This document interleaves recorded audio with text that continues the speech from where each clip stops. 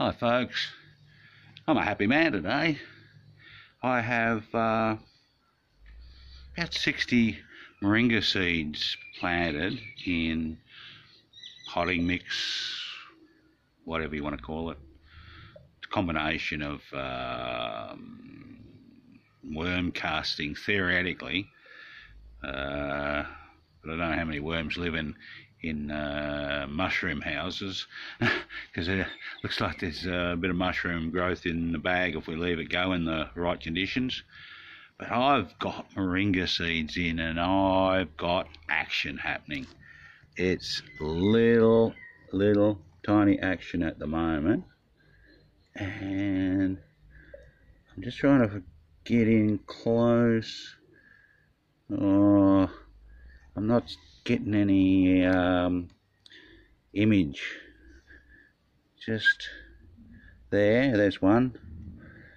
Uh, another one. And another one. They're just popping through. Um, it was three days ago I put these in. What's today? 15th. It was the 11th.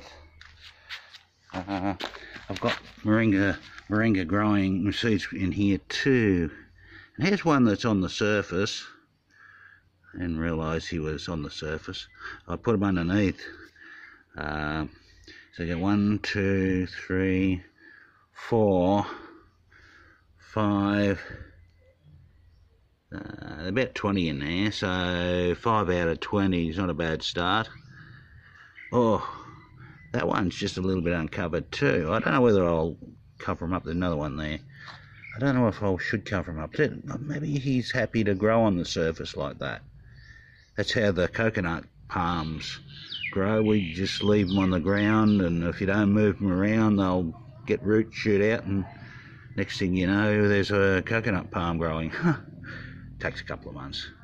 But yeah, I'm happy. Happy, happy, happy because I soaked these seeds. Uh, I was only going to soak them for four hours. Then I got working and I've just totally forgotten about them.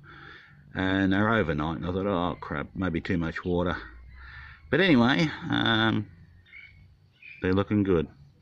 I'll get back to you again soon and you can uh, see what's happening. Maybe a couple more days and we'll see some more action. Bye now.